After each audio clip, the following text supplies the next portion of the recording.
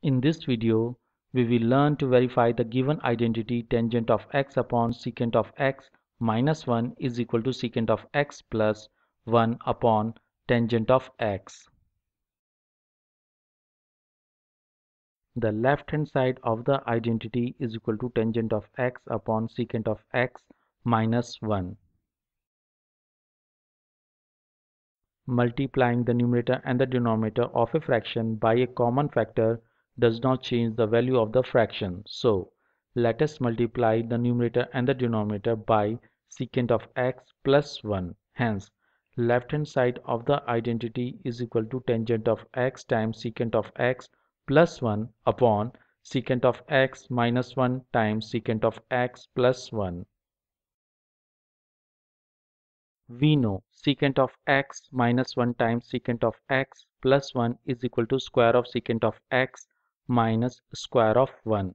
Thus, left hand side of the identity is equal to tangent of x times secant of x plus 1 upon square of secant of x minus 1.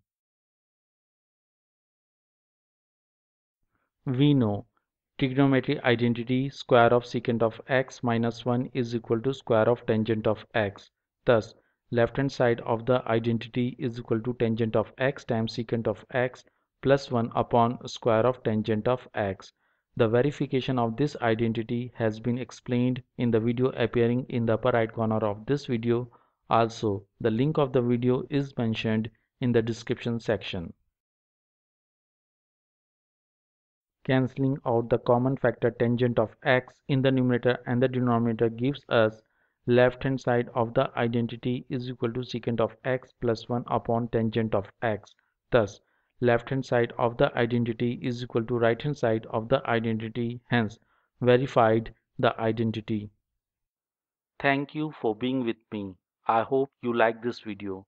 Please click the like button and subscribe button. Do not forget to press the notification bell so that you get the notifications of my new videos share the video and do write in the comments.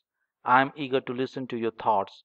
If you have any question related to video, if you think I should make a video on any other topics in which you are interested, please write in the comments. Thank you.